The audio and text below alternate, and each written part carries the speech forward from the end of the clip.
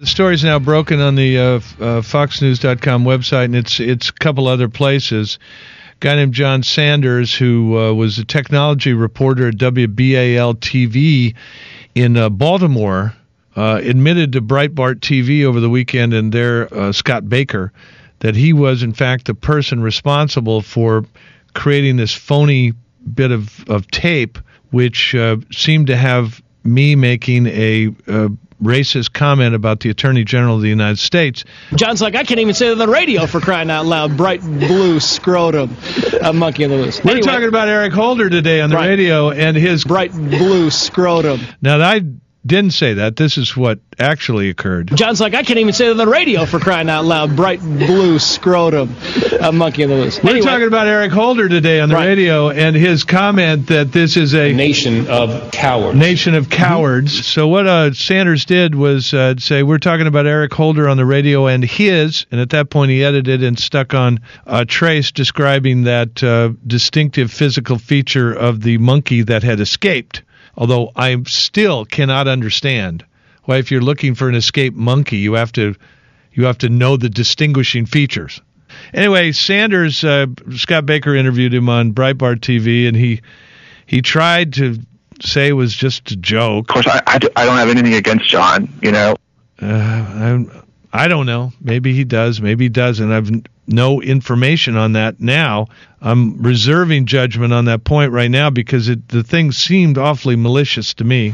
What, so what happened when it went to, to, to TV Newser? Because I think if, if, what people were looking at on Newser and then later on Huffington Post, did they just turn the annotations off? Those are uh, that's Scott Baker referring to two industry websites which pushed this thing out in the public and created just a a firestorm of, of hate mail directed at me. You know, I, I honestly don't know how that works, and I, I don't know how it, it, it. I was really kind of floored when it became as as big as it did. I really just did it to to share with some friends, and thought it was was the, just the, they thought it was funny the what they were talking about, not the bit about right. about John. And of course, I, I I don't have anything against John, you know, or against Fox or anybody that was involved in that. Well, it's yeah, I mean, at least at this point, I got to take him at his word. But you got to say that you know, doing that edit. And why do it? Well, you know, it's not that I'm without controversy. You put those words in my mouth, it's going to people are going to assume the worst. They're going to assume I really said it. I guess you could see how it could become explosive, though. Right, and and and you know, I big silence.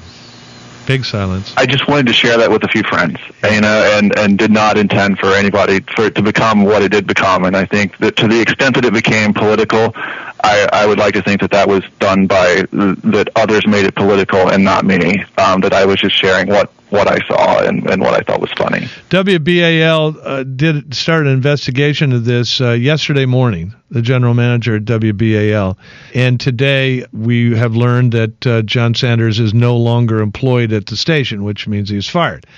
Now, I assume that what the general manager might have discovered was that Sanders did not do this at home on his home computer and post it to YouTube on his personal account.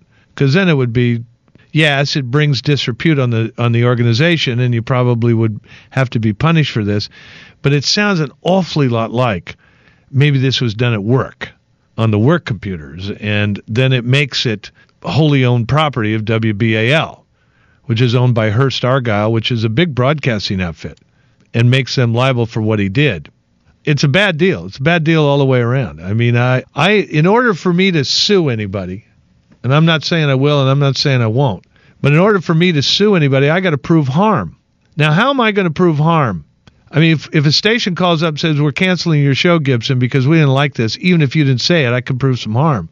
If some station doesn't add our show to their lineup for this reason and never says anything, you'll never know. How would I ever know? And not to mention, I've got to tell you the number of people who posted on the Huffington Post in complete glee. Oh, Gibson's been caught again. It was some awful thing he said. When it, when they, when they learned it was phony, and it, and the Huffington Post corrected it and said they regret the error, although I don't believe them either. I can't tell you the number of people who said, "Well, I'm sure he thinks like that anyway." That's just how he is. He is a racist. We don't need anything to prove it to us. We already. So, I mean, how do I measure that kind of harm? I, I, I, I just really don't know. When John Gibson talks, I'm just going to make this up. We take one person and we widen it out. I go out and do hand to hand combat. Man, is there a tush on Romney or what? he says things.